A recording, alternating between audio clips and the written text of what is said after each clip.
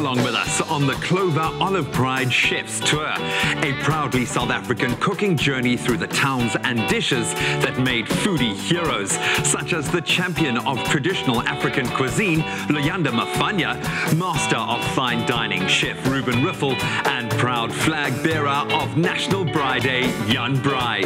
Made with olive pride. Prepare to be proud.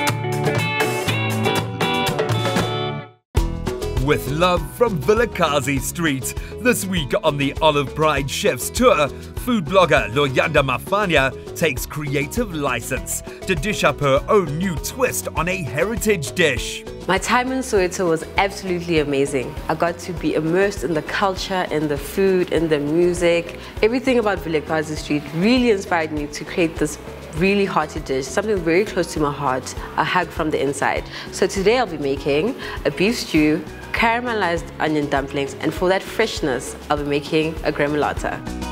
So I'll be using stewing beef. It's a nice cut of meat which is slow cooked and becomes very tender the longer you cook it. Some people like it on the bone, some people like it off the bone. Today I'm using meat that is off the bone. Now I'm going to season it with some salt and some pepper then I will drizzle it with some Olive Pride blend. I'm using the Olive Pride blend because it's got the taste of an olive oil and the properties of a normal oil, meaning it's great for stews and cooking on high heats. Now I'm going to cube my potatoes. I'm leaving my skin on. I like all the nutrients that come with it. Now I'm doing my carrots. I'm going to cut them into discs for some texture. And this also brings out a bit of color into my stew. And lastly, I'm gonna chop my onion finely and this is gonna be a nice base flavor for the stew. And who has stew without onion? Just that's the most important question actually. All my prep is done as you can see, so now let's get cooking. Now I'm going to add a spoonful of the Olive Pride fat spread. This is gonna add some creaminess and enhance the olive oil flavor in the dish. And now I'm going to drizzle some oil just so that the butter doesn't burn. And then lastly, I'm going to add my meat to the pot. My meat is in, the pot is on a high heat. I'm going to do it for two, three minutes on each side. I want it to be golden brown on all sides before adding my other ingredients.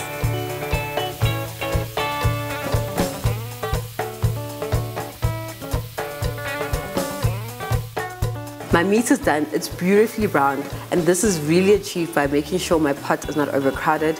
Overcrowding makes steam, and this means that we won't get the beautiful brown color that we want. This is a perfect time for me to add my spices. I'm starting with my steak and chop spice, and then I'm going to add my garlic and herb spice. I'm gonna give this a good mix, make sure it's all coated with the spices, and then I'm going to add my onions, and cook them until they are translucent. While my onion is cooking, I'm definitely scraping the bottoms just to get all that caramelization because it adds to the deeper flavor of the stew. The onions are looking good now. I'm going to add my beef stock cubes.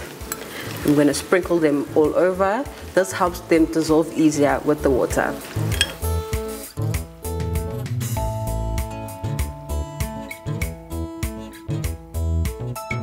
The beef is simmering, it's looking good, it's getting thicker, and this is a perfect time to add my chopped tomato. Then I'm adding my tomato paste for that extra depth of tomato flavor in my stew. Gonna mix that up and leave that to simmer and get thicker before adding my carrots and potatoes.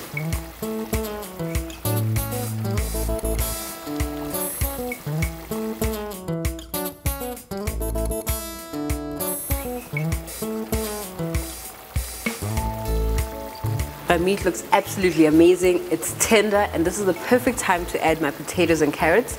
I'm adding it later simply because I do not want it to get too soft too early and become mushy. I'm going to give it a mix, make sure it's all well combined. I'm going to cover it and now time for the dumplings. Dumplings are the perfect comfort food and they go well with any hearty dish. But today I'm adding a twist and I'm going to caramelize onions and add them to my dumpling. And what do we have? Caramelized onion dumplings.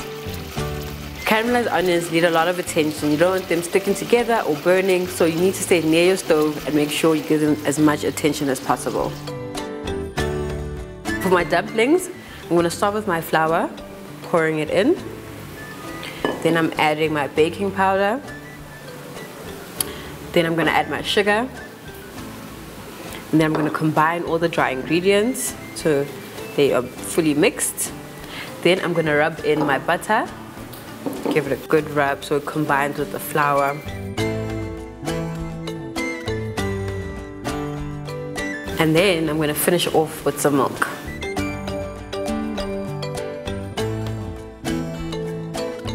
I'm to slightly knead, but not too much because at this stage I want to add my caramelized onions.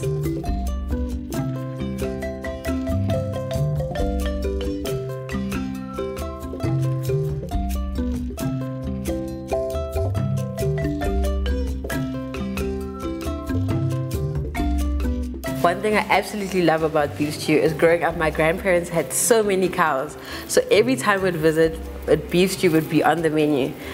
We eat every single part of the cow from head to tail, and beef stew was one of my favorite dishes growing up. My dumplings are ready to go in. I've made them nice and small because when they cook, they do usually double in size. So I'm gonna put them in for 15 minutes to cook.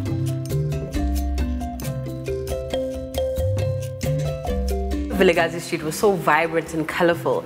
And I was inspired to bring that vibrance and colorfulness to my dish. And I've decided to add some gremolata to finish it off and add some freshness.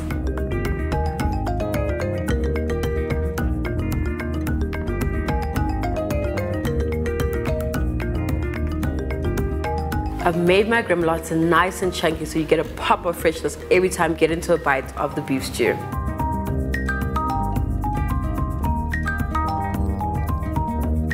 This looks and smells absolutely amazing. I can't wait to dig in.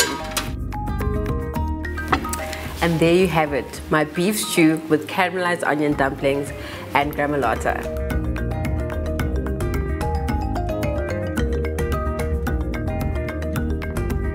Lou, something smells real good in here. Yep, Remy, I made you an amazing beef stew with caramelized onion dumpling. I want you to try that. I hope you'll be proud. Oh, of course I will. Let me try it. So, oh, yeah. What do you think? Mmm. mm, this tastes so, so, so good. Let me give it a try. Let's see. Mmm. So tender. Mm.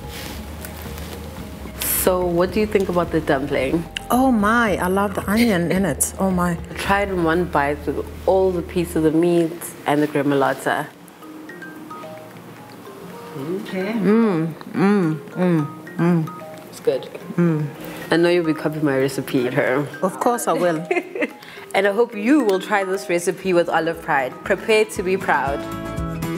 From Gauteng to KZN, Next week on the Olive Pride Chef's Tour, Ruben Riffel finds sunny, luscious Durban a treat for the eye, but it's the aromas of the Victoria Spice Market which most seduce the senses.